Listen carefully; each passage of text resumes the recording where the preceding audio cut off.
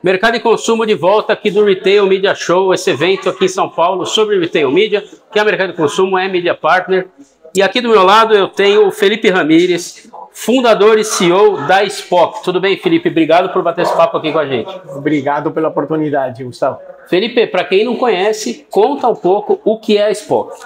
Então, a Spock é uma empresa eh, que visa justamente a ajudar nesse meio hoje em dia do não unicamente de retail mas empresas que tenham uma grande afluência ou grande massa crítica de dados a tirar um maior proveito eh, com eles, né? Então, hoje a gente vê um zoom que surge muitos assets de dados a uma velocidade super acelerada por conta de velocidade da internet, por conta da storage de informação, não? Tudo que as nuvens, todas as capacidades vêm do, dobrando e dobrando, todas as capabilities, eh, capacidades né, tecnológicas estão permitindo com que se crie muito dado e muito dado relevante para muitas questões. Então, o que a Spock está fazendo agora é justo ajudar na empreitada de monetização de dados as diferentes empresas para que elas façam do melhor jeito possível. E como que você vê, Felipe, as empresas brasileiras, é, como elas estão preparadas, um, para o retail media em si, dois, para monetização? Muito, muito boa pergunta. É, na verdade, existem como diferentes tipos de empresas em diferentes níveis de maturidade. Né? Então, eh, você consegue ver, e não tem a ver com tamanho, olha que engraçado, porque tem algumas que, empresas que são de porte médio ou pequeno, inclusive já mais prontas para ir e dar um pulo na frente do tema de retail media. Então, nesse caso, na verdade, é um cada um, cada um no seu quadrado. Então, a gente que faz uma avaliação de qual que é o estágio que a empresa está em termos de maturidade e a gente ajuda ela a construir um pouco esse esse caminho para, de uma maneira muito concreta, para ela tirar o melhor do que ela tem, ela monetizar do melhor jeito possível o, o ativo que ela tem dentro. Então, caso, por exemplo, varejos é, que tem que tem uma, uma, não sei lá 60 70 lojas regionais e como que ela consegue utilizar isso em pro dela mesma, mas em pro mais ainda uhum. das, para as marcas que ela serve, os makers, né, as indústrias, e ela mesma também para ter uma melhor experiência com os seus usuários e compradores. Então, é isso que a gente está fazendo justamente nesse momento. E a maturidade, ela vai influenciar diretamente no resultado que a empresa consegue com o retail media? Com, com certeza, Gustavo, porque o que a gente está vendo é que os avanços eles estão indo muito rápido, tá? Tecnológicos.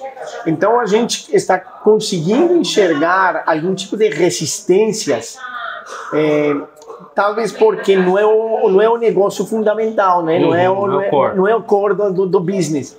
Então, ah, não, não vamos entrar nisso por agora, isso é uma coisa meio que precisamos ainda como fazer um arroz com feijão, então ok. Só que é, é, é, a verba, o, o, dinheiro que está chegando desses investimentos é, é, um investimento que vai ajudar muito as empresas justamente a gerar caixa, a gerar melhores, eh, melhores proporções ao seu bottom line e ajudar justamente no momento complexo como estamos vendo na indústria, então, como eles podem melhorar seu caixa, como eles podem melhorar no final todo o profit, o, o, o negócio de lucro da, da empresa como um todo. Então, tem que se preparar. Uhum. E, e, quem não estiver aí, tem que entrar. Né? Eu acho que não tem muita volta. É, então eu falo, eu, eu sempre brinco com o trem da inteligência artificial. E pelo que você está falando, o trem do retail media, que tem a inteligência artificial nele também, é isso. Mas quem perder esse trem. É, tem muitos players de mercado. E agora na palestra, justamente que estava contando que as linhas começam a desaparecer. O que quer dizer com as linhas? Estamos falando de retailers, né? De varejo. Que hoje a gente vê um WhatsApp que tem um planejamento planejado entrar, vender coisas, tem uma isso diretamente a meta. Você consegue ver um TikTok também começando a fazer uns avanços importantes no tema de, de, de, de, comércio e assim diante. Então, eh, você vê streamers que começam, ou você vê uma Amazon que começa a entrar no streaming, uma Amazon que começa já a virar, então começa tudo a ficar muito híbrido. E nesse sentido, o retailer ele tem que surfar essa onda, uhum. porque senão ele vai ficar atrás depois recuperar esse espaço perdido vai ser muito difícil frente a esses não unicamente retailers, sino outros players que vão entrar nesse, nessa categoria. E vocês identificam algum motivo assim, Felipe, para se haver alguma resistência? É uma, é uma falta de conhecimento ou é algum medo em relação a, a um, a um rechaçamento do consumidor? É, sei lá, às vezes, às vezes players falam que é, não quer que o seu, seu e-commerce seja invadido de, de coisas ali e tal. Sim, que afete o, a, a, é, a, mas, mas assim, tem alguma, experience, né? tem alguma coisa que vocês identificam assim? Não, eu acho que tem um mix, eu acho que tem uma mistura de razões, né? É, eu acho que, é, primeiro, mídia per se já é, hoje em dia, já era antes, já era um mercado muito complexo. É, inclusive quando a gente falava de mídia tradicional, né? uhum. né? TV, rádio. E o que, que acontece hoje? Os canais para fazer mídia, eles se multiplicaram exponencialmente. A gente vê que ainda continua né, se multiplicando. Então, isso faz com que exista um nível de complexidade e especialização muito maior. E isso faz, de certo jeito, que seja não tão compreensível o tema. Uhum. E isso, no dia a dia, para quem está dentro, vindo de é, é, sei lá, de trecho, de alguma coisa assim.